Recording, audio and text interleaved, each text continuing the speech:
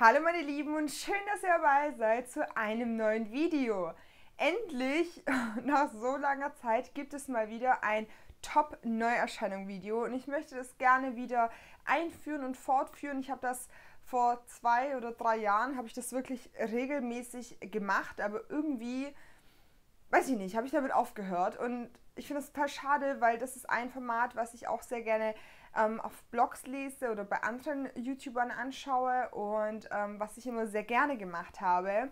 Und ja, ich möchte euch heute gerne die Bücher vorstellen, auf die ich mich am meisten im August freue und die ich ähm, ja gerne lesen möchte, beziehungsweise oh, vielleicht beim einen oder anderen erstmal die Rezension abwarte, aber auf jeden Fall auf die ich mich am meisten freue. Alle Bücher sind unten verlinkt, da könnt ihr euch nochmal in Ruhe den Klappentext durchlesen und so weiter und so fort. Und bitte vergesst nicht, ähm, falls ihr mir noch nicht auf Instagram folgt, schaut auf jeden Fall vorbei. Ich bin dort echt so gut wie immer live und äh, ja, wir unterhalten uns dort auch die ganze Zeit über Bücher und Serien und alles mögliche. Hashtag Booksmatter, ihr wisst Bescheid. Wir starten jetzt mit meinen Top-Neuerscheinungen für den August 2018.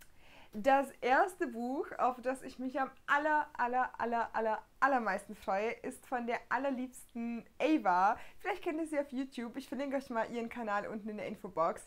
Und zwar erscheint von die Mondprinzessin mit diesem wunder, wunder, wunderschönen Cover, ähm, erscheint der zweite Teil. Mondlichtkrieger und zwar schon am 1. August. Und ich kann es nicht abwarten, mir das Buch zu kaufen und zu lesen. Ähm, ich fand das wahnsinnig toll. Es geht zwar hier so ein bisschen, ähm, ja, so Weltall und ähm, andere Welten und so, aber das ist nicht wirklich Science Fiction, sondern eher so ein bisschen Fantasy, aber mir hat das so gut gefallen und ich fand das großartig.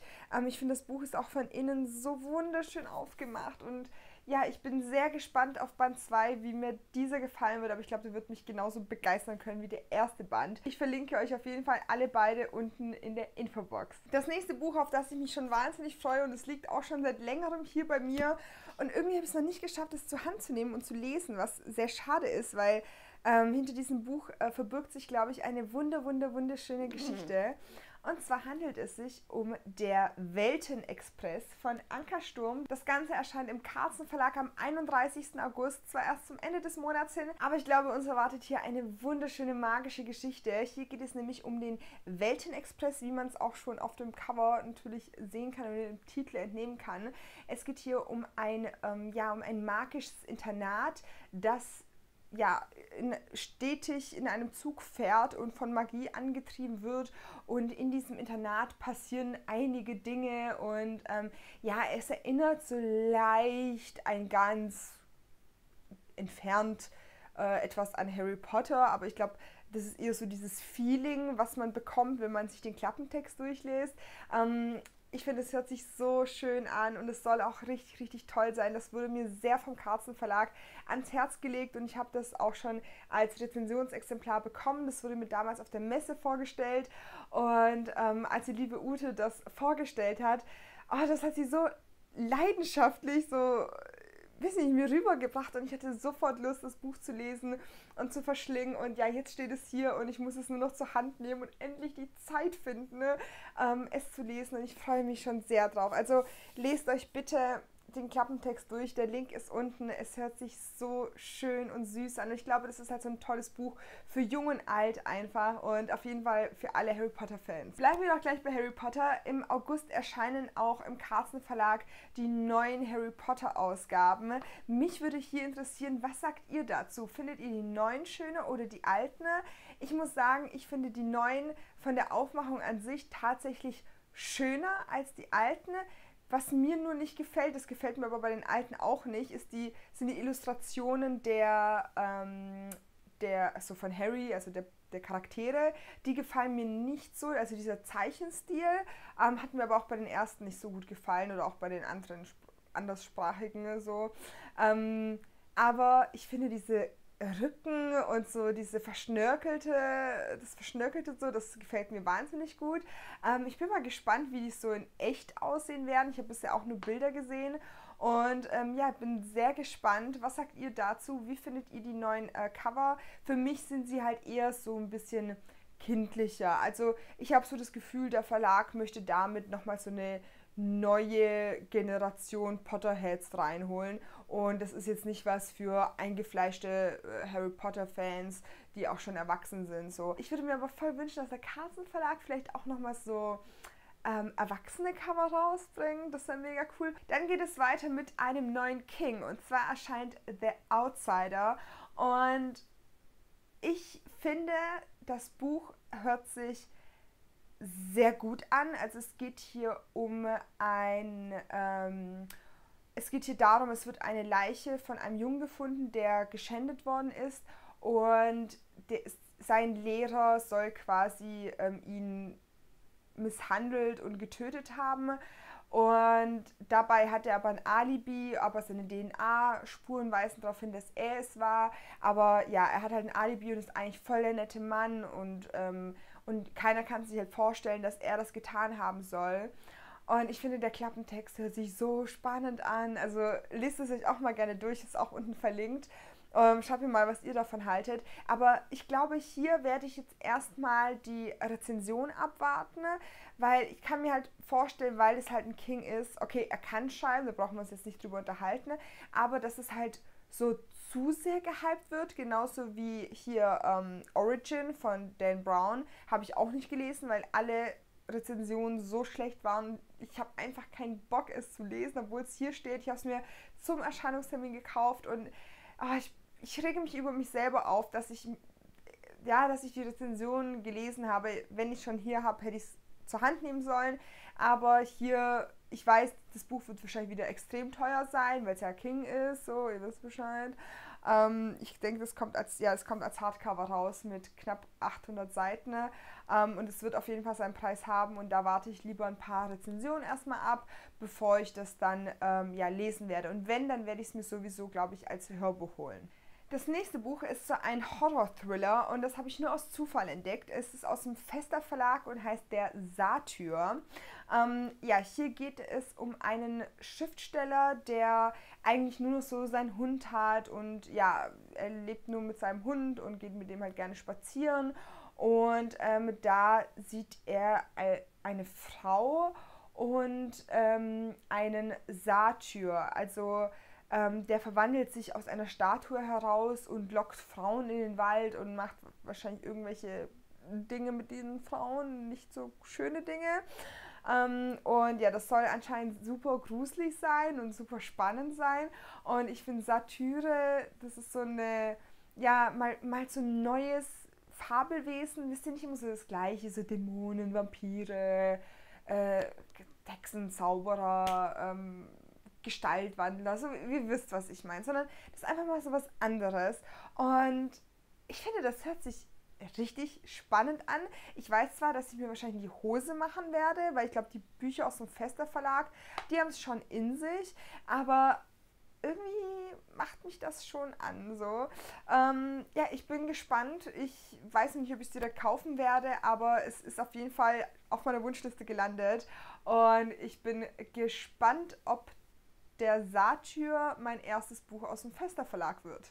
Das nächste Buch ist mir eigentlich nur wegen dem wunder wunderschönen Cover aufgefallen und zwar ist es eine Krone aus Feuer und Sternen von Audrey Calthurst. Ich hoffe, ich spreche das richtig aus, aus dem CBT Verlag. Und mit Kronencovern hat man mich ja schon immer gecatcht. Ähm, hier geht es auf jeden Fall um eine Prinzessin und sie verfügt über Feuermagie, wird aber verheiratet an einen Prinzen, in dessen Land ähm, ja die Todesstrafe auf Magie steht. Und sie freundet sich aber, glaube ich, mit seiner Schwester an und sie ist auch total eingesperrt und beide Mädchen wollen eigentlich nur frei sein, ihre Freiheiten genießen und ähm, aus diesem goldenen Käfig ausbrechen. Ne? Ähm, und ich glaube, die müssen dann irgendwie einen Krieg verhindern oder so. Ich habe es gerade nicht zu 100% im Kopf. Wie gesagt, ähm, Klappentext unten ähm, verlinkt. Es könnte eine schöne Jugendbuchgeschichte sein, so mit Fantasy-Elementen. Etwas, worauf ich stehe, weil ich mag sowas total gerne, auch wenn es dann so starke Protagonistinnen sind. Aber ich muss sagen, der CBT-Verlag hat mich in letzter Zeit doch schon immer wieder so ein bisschen enttäuscht, weil man denkt immer so, wow, das hört sich so gut an und so ein schönes Cover und äh, voll der packende Klappentext und dann liest man das und dann ist es irgendwie so, mm, ja, hm, so, so 0815 Jugendroman, wisst ihr, wie ich meine? Und da habe ich hier ein bisschen Angst davor und darum werde ich auch hier erstmal die ähm, Rezension abwarten, bevor ich es dann ähm, kaufe und lese. Vorletzte Buch, das habe ich tatsächlich schon hier, allerdings auf Englisch.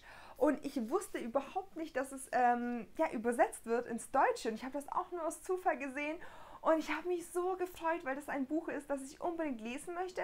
Aber äh, ja, ihr kennt ja den inneren Schweinehund, wenn es darum geht, auf Englisch zu lesen. Ähm, und zwar ist es The Crown's Game von Evelyn Sky. Das habe ich mir auch erst vor kurzem ähm, gekauft. Ich glaube, da gibt es auch schon zwei Bände im Englischen und das erscheint am 20. August im Gulliver von ähm, Belz und Gelberg Verlag.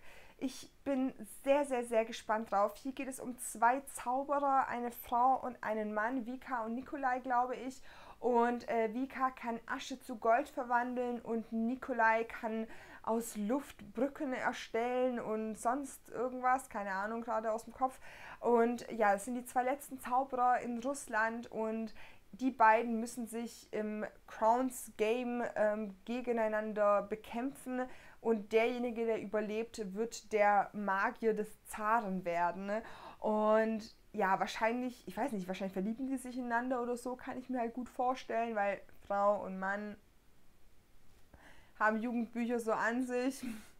Hashtag no Spoiler, ich habe es noch nicht gelesen, keine Ahnung.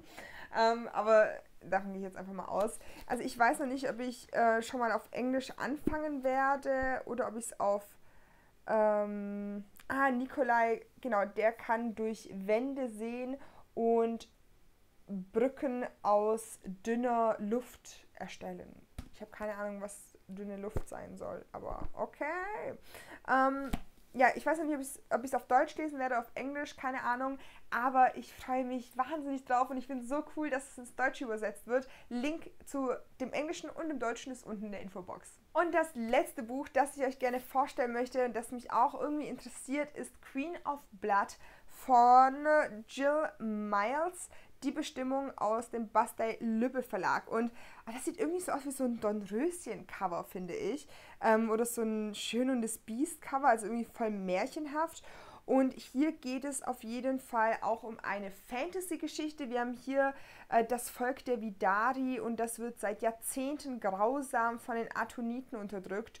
Und ähm, ja, die junge Gänsemarkt-Serie ähm, gelangt an den Hof des Geheimnis des geheimnisvollen Herrschers, denn dort soll sie für den Widerstand der Vidari spionieren. Aber als sie den Blutprinzen Graham kennenlernt, äh, kommen ihr Zweifel an der Mission und ja, sie weiß nicht, ob sie ihr Volk oder ihre Liebe verraten soll und mm, sowas mag ich. das sind so kitschige Fantasy-Geschichten, ganz nach meinem Geschmack. Und ähm, ja, ich bin sehr gespannt, ähm, wie so die ersten Stimmen. Also ich, ich habe es mir abgewöhnt, Bücher vorzubestellen und sofort zu kaufen. Und ich warte immer lieber erstmal so die ersten Stimmen ab und wege das für mich so ein bisschen ab, ob das was für mich sein könnte oder nicht. Auch wenn es negative Rezensionen sind, ähm, ich kann das trotzdem für mich so einschätzen, ob das was ist, was mir gefällt oder nicht, weil ihr wisst, ich habe einen sehr eigenen ähm, ja, Geschmack. ähm, ja, aber ich finde, das hört sich auch irgendwie interessant an und der Bastel Lübbe Verlag bringt ja zurzeit echt tolle Fantasy-Bücher auf den Markt. Also hier Tochter der Götter, ihr wisst, absolutes Highlight für mich. Ich bin auf jeden Fall gespannt auf die Bücher und mich würde es sehr, sehr, sehr interessieren, welches von denen ihr gerne lesen würdet. Schreibt es mir bitte mal in die Kommentare. Ansonsten lasst uns auch gerne auf Instagram zusammen quatschen. Link hier oben. Und äh, wir sehen uns wieder beim nächsten Mal. Ich bedanke mich fürs Zuschauen. Tschüss!